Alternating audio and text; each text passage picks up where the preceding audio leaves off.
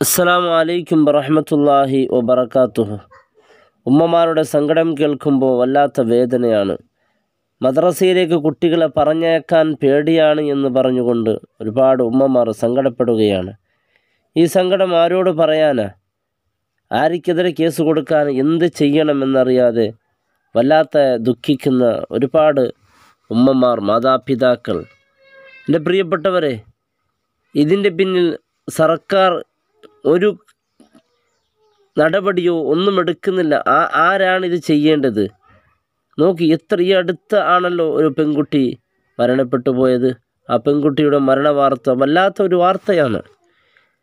ആ വാർത്ത കേട്ടപ്പോൾ വല്ലാ നമ്മുടെ നാടിന് എന്ത് സംഭവിച്ചു? ഇതിന്റെ ഉത്തരവാദികൾ ആരാണ്?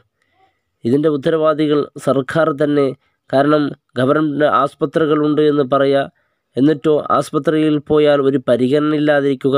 കാരണം ഈ ഇത് രാവിലെ മദ്രസയിലേക്ക് പോകുന്ന കുട്ടികൾക്കാണ് ഏറ്റവും കൂടുതൽ ബാധിക്കുന്നത്. കാരണം ഈ മദ്രസയിലേക്ക് പോകുന്ന കുട്ടികളെ രാവിലെ സുബഹിക്കാണല്ലോ പോകുന്നത്. ആ സമയത്താണ് ഈ തെരുവ് നായികൾ മൊത്തം കൂട്ടം കൂടിക്കൊണ്ട് കടിക്കലും ഉപദ്രവിക്കലും പലതും ചെയ്യുന്നത്.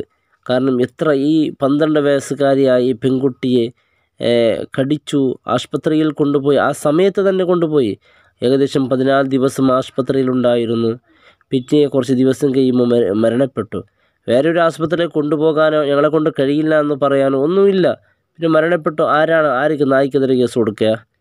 ഇതിനെ കൊല്ലാനോ ഇതിനെ ഇല്ലാതെയാക്കാനോ നമ്മുടെ സർക്കാരിന് കഴിയുന്നില്ല എന്ന് പറയുമ്പോൾ വല്ലാത്ത ഖേദകരമാണ്. കാരണം നോക്കൂ കാരണം ഈ ചെറിയ പിഞ്ചു മക്കളാണ് വരുന്നത്. എന്റെ ഉമ്മമാർ ഉപ്പമാർ പ്രത്യേകിച്ച് ശ്രദ്ധിക്കണം. കാരണം നിങ്ങൾ തന്നെ കുട്ടികളെ മദ്രസയിൽ കൊണ്ടുപോയി അവരെ വിടണം. കാരണം ഈ വിഷബാധയേറ്റ ഈ ചില നായികൾ കടിച്ച് കടിച്ചാൽ പിന്നെ അത് അതിന്റെ വൈറസ് റാബിസ് എന്ന് പറയുന്ന ആ വൈറസ് ആ ശരീരത്തിൽ കയറിയാൽ പിന്നെ അത് മരണമാണ് അവിടെ സംഭവിക്കുന്നത് അത്രക്കും പ്രയാസമുണ്ടാക്കുന്ന ആ കുടുംബത്തിന് തന്നെ പത്തനംതിട്ട എന്ന് പറയുന്ന സ്ഥലത്ത് ആ ഉമ്മയുടെ ആ ഒരു അവസ്ഥ ആ ഉമ്മയുടെ ആ ഒരു തേങ്ങൾ കേൾക്കുമ്പോൾ സഹിക്കാൻ പറ്റുന്നില്ല. ഈ ക്ഷുദ്രജീവികൾ കാരണം അള്ളാഹുവിന്റെ റസൂൽ അലൈഹി വസല്ലം ചില എലിയെ കൊല്ലാനും ചില ഹദീസുകൾ പറയുമ്പോൾ അതിനെ കളിയാക്കി കളയുന്നവരുണ്ട്. ഇത്തരത്തിലുള്ള ഒരു സാഹചര്യത്തിൽ ക്ഷുദ്രജീവികളെ കൊല്ലാതെ പിന്നെ എന്താ ചെയ്യുക? ഇത് ആരാണ് കൊല്ലേണ്ടത്? ഇതിനാരാണ് നടപടി എടുക്കേണ്ടത്?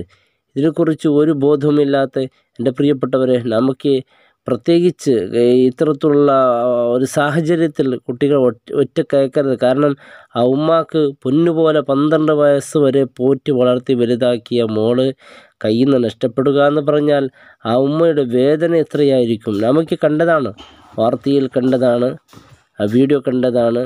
ആ ഒരു വീഡിയോ കാണുമ്പോൾ അത് താങ്ങാൻ നമ്മളെ കൊണ്ട് സഹിക്കാൻ കഴിയുന്നില്ല. അതിപ്പോൾ നമ്മുടെ വീഡിയോയിൽ ഉൾപ്പെടുത്തിയാൽ നമുക്കും അതൊരു പ്രയാസമുണ്ടാക്കും മനസ്സിലാവും. ഉമ്മയുടെ തേങ്ങൽ കാണുമ്പോൾ അള്ളാഹു റബ്ബ് സുബാനവുത്താല കാലത്ത് രക്ഷിക്കട്ടെ.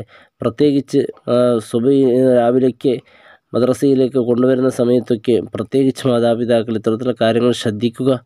അള്ളാഹു നമ്മുടെ മക്കൾക്ക് അള്ളാഹു നാഫിയാലും നൽകട്ടെ. എല്ലാ ഉപദ്രവ ജീവികൾ തൊട്ട് നമ്മളെ കാക്കട്ടെ. ഈ പാമ്പുകൾ മറ്റും കൊല്ലാൻ പറയുന്നുണ്ട് പലതും പറയാറുണ്ട്.